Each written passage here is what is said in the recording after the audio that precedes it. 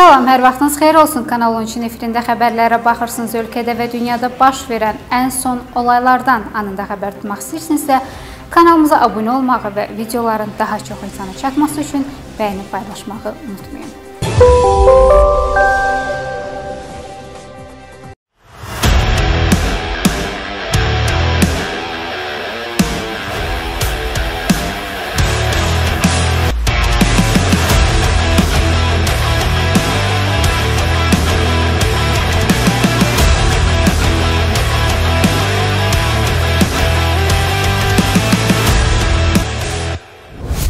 Azərbaycan Dövlət Sərhəd Xidməti tərəfindən dövlət sərhədinin etibarlı mühafizəsinin təmin edilməsi məqsədi ilə sərhəd mühafizə və əməliyyat axtarış tədbirləri davam etdirilib. Xidmətin mətbuat mərkəzindən bildirilib ki, 2021-ci ilin 7 dekabr tarixində saat 16:00 radələrində xidmətin sərhəd qoşunlarının Göytəpə sərhəd dəstəsinin Yardımlı rayonunun Daşkənd kəndi yaxınlığındakı sərhəd zastavasının xidmət ərazisində sərhəd naryadı tərəfindən 2 nəfər naməlum şəxsin dövlət sərhədini pozaraq ölkə ərazisinə gəlməyə cəhd etmələri aşkar olunub. Sərhəd zastavası silaha komandası üzrə qaldırılıb.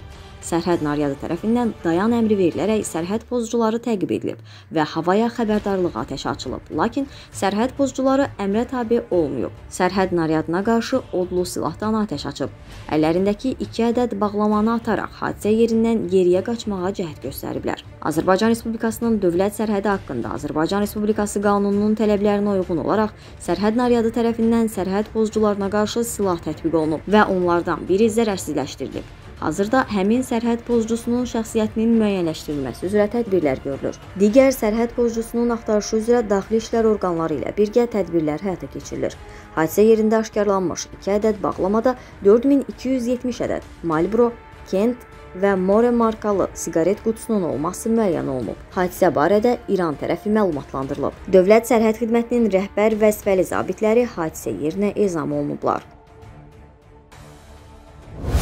Bu arada bildirək ki, Dövlət Sərhəd Xidmətinin Baku TV-nin əməkdaşına qarşı nalayiq hərəkətlərə yol verən hərbi qulluqçusu mayor Rövşən Cahangirova məzəmmət elan olunub. Bu barədə xidmətin mətbuat mərkəzindən bildirilib. Qeyd olunub ki, Dövlət Sərhəd Xidmətinin rəhbərliyi tərəfindən nəzakətsiz davranışına görə Rövşən Cahangirov məzəmmət olunub. Xatırladaq ki, Cahangirov xidməti vəzifəsini yerinə yetirən hərbi helikopter qəzası zamanı şəhid olan sərhədçilərlə vida mərasimində çəkiliş aparmaq istəyən Baku TV-nin əməkdaşına qarşı nalayiq hərəkətlər edib. O, jurnalistlərə qarşı kobudluq edib. Onları əli ilə itələyib media nümayəndələrinin çəkiliş aparmasına imkan verməyib. Qeyd edək ki, Azərbaycan Silahlı Qüvvələrinin intizam nizamnaməsinə əsasən hərbi intizamı və ictimai asayişi pozan zabitlər ictimai qaydada məzəmmət edilirlər. Məzəmmət töhmətdən əvvəl tətbiq edilən cəza növüdür. Canlıdasan. Çıx bayra dedim sənə. Tamam. Bayra çıx dedim sənə. Vay, Çıx bayra. Arkadaş ne edirsən sən? O Ne rəsmi. edirsən sən? Bu hərəkət.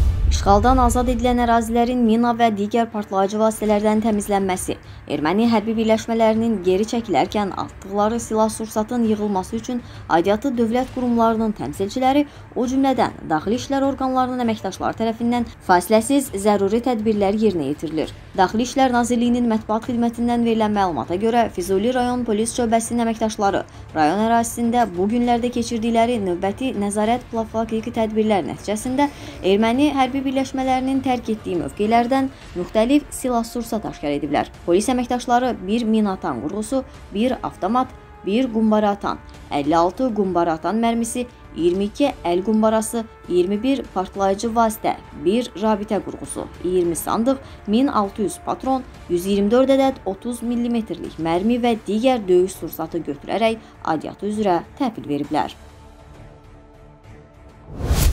Gorus Qafan yolunda qurulan Qubadlı gömrük postu vasitəsilə milyonlarla vəsait toplanılaraq büdcəyə köçürülüb. Bunu Dövlət Gömrük Komitəsi sədrinin birinci müavini, Gömrük Xidməti general-leytenantı İsmail Hüseynov deyib. Gorus Qafan yolunda Azərbaycan Respublikasının işğaldan azad edilmiş Qubadlı rayonunun Eyvazlı kəndinin magistral yola yaxın hissəsində gömrük postunun yaradılması haqqında Dövlət Gömrük Komitəsi sədrinin 10 sentyabr tarixli müvafiq sərəncamı oldu. Sərəncamın icrasından irəli gələrək sərhəd keçid məntəqəsinin fəaliyyətə başlanması üçün bütün lazımi maddi texniki ehtiyatların qarşılanması üçün addımlar atıldı. Post 12 sentyabr 2021-ci il tarixdə ölkə ərazisində gömrük xidmətinin digər postlarından heç bir fərqli fərqi olmadan hər bir gömrük keçid məntəqəsi kimi fəaliyyətini davam etdirir.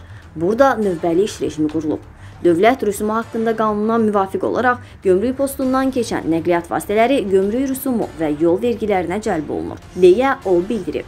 Onun sözlərinə görə, buradan toplanılan vəsaitin dövlət büdcəsinə ötürülməsi Dövlət Gömrük Komitəsi tərəfindən həyata keçirilir. Burada post terminallar, bank terminalları quraşdırılıb, postun tam fəaliyyəti təmin olunub. Artıq milyonlarla vəsait tərəfimizdən toplanılaraq dövlət büdcəsinə köçürülüb, deyə İsmail Hüseynov qeyd edib.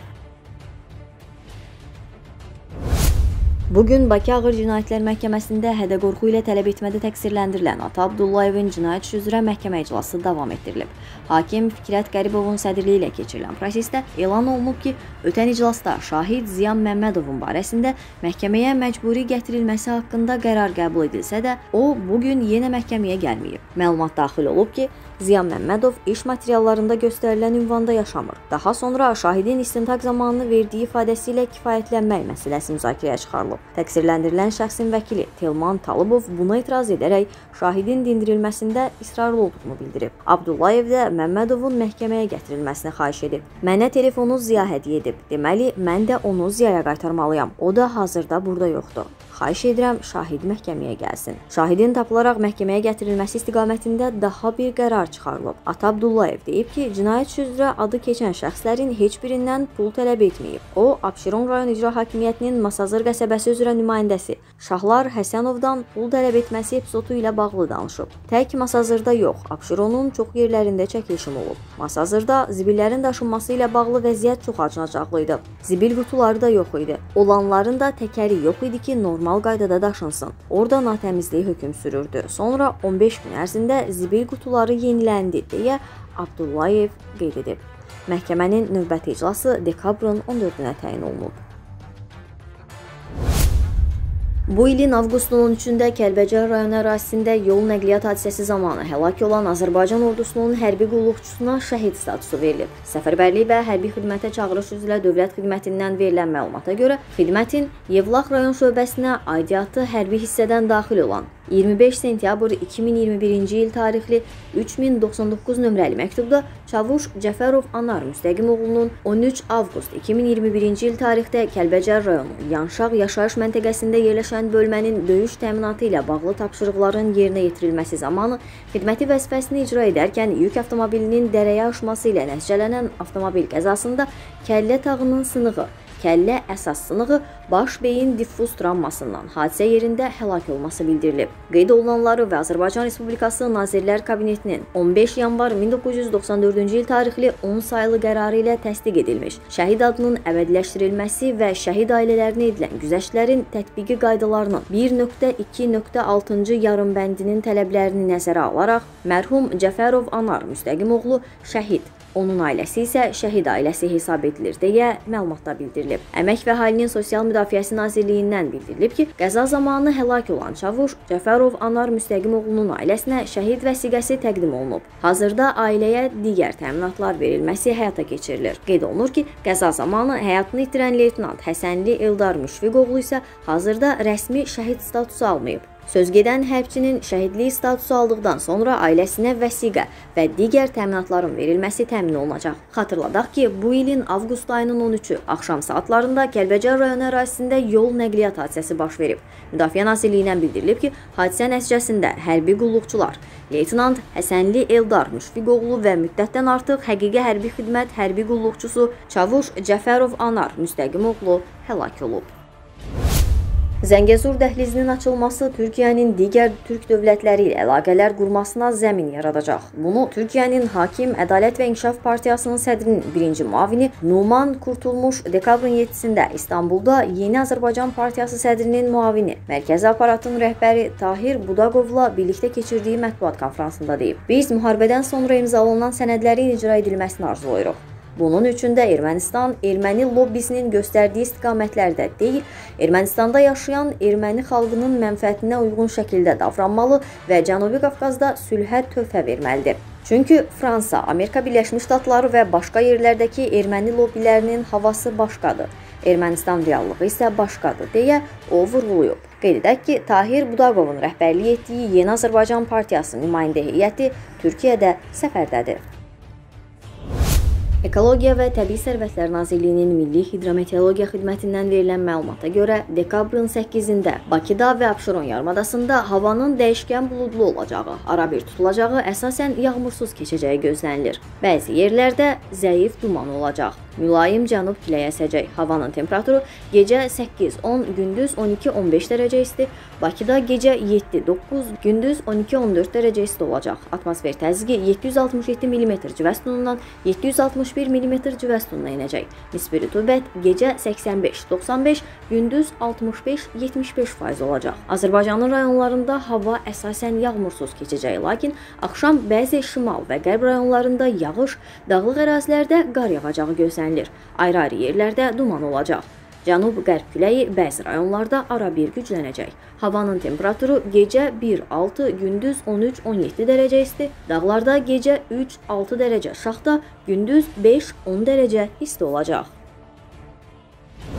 Bax belə bugünlük və bu saatlıq bizdən bu qədər növbəti gündə görüşmək ümidi ilə hələlik